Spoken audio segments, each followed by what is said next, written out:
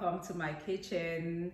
Hi, my name is Yaje and I hope you all are doing well.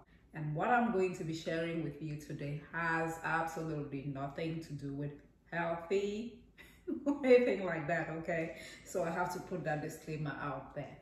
But one of my passions, one of the things that I love to do that brings me so much joy and peace is cooking and messing around with flour. This is not fat loss friendly. This is not healthy. But like I always say, if you're going to eat junk, make your own junk. We're in lockdown mode, hello, Quarantine Chronicles. I've gone back to some of my treasures and I'm trying out recipes and updating them to the 21st century. This is the book I'm talking about, Auntie Kate's Cookery Book. Last week, I shared the plain cake recipe from Auntie Kate's Cookery Book um, updated again for the 21st century. I'm adding my touch to it. And somebody asked about Gari biscuits recipe. I thought I should try making Gari biscuits. After two tries, I think I have something that I can comfortably share with you.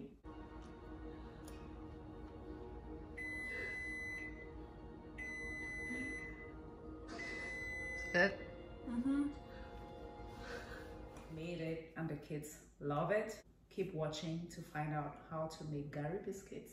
Just a quick reminder, if you have not subscribed to this channel, to go ahead and click on the subscribe button so that when I do share recipes like this one or share recipes like my celery juice, because I share them all, you don't miss out on anything. Thank you so much for the support. So what you need to make the Gari biscuits, I have all-purpose flour, two cups.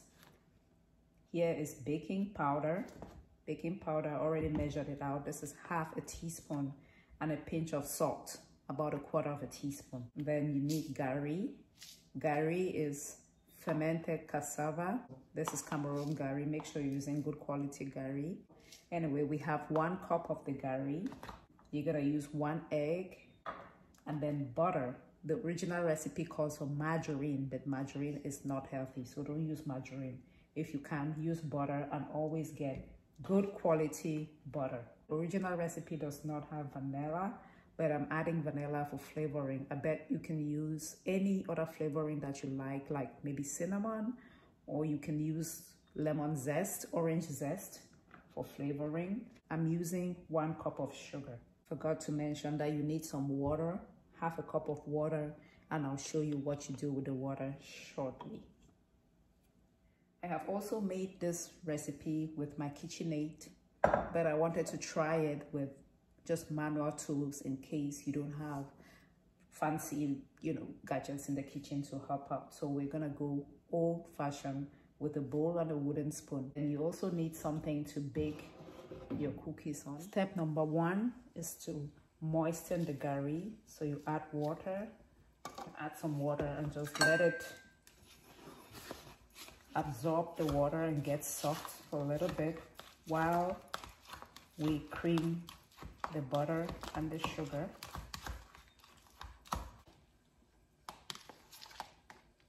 Okay, so we let that sit. Add the sugar. And we're gonna cream this.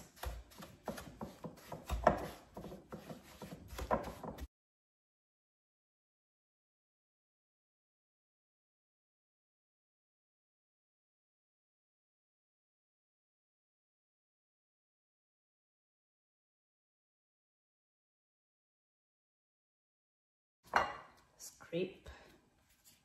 Okay, I think it's almost ready. A little bit of a workout. But you gotta work for your food. Now I will add the egg. One egg.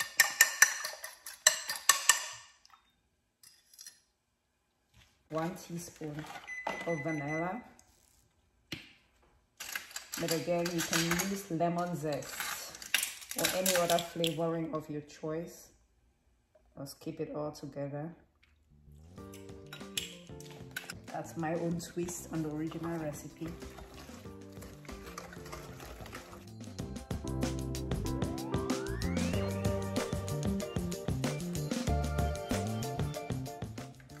Now we're going to add our soaked gari.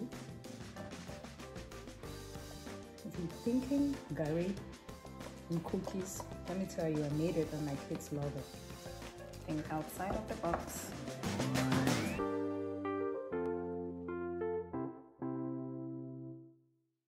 Now I'm going to add our flour mixture. This is flour, baking powder, and some salt. Yes, you need salt in your cookies and cakes to bring out the flavor. So just a small pinch of salt.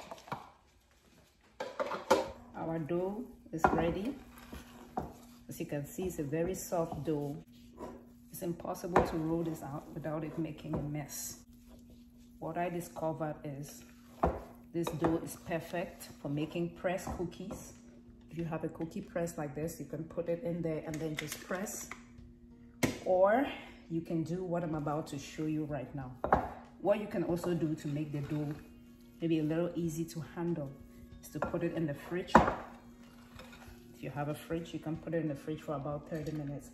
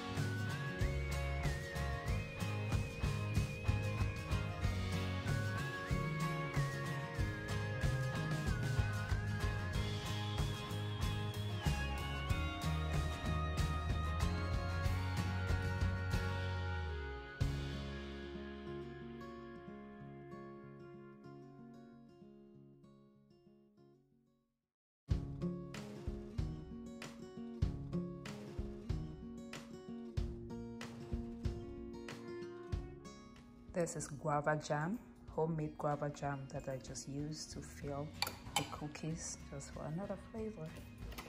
It's gonna go in the oven for 20 minutes.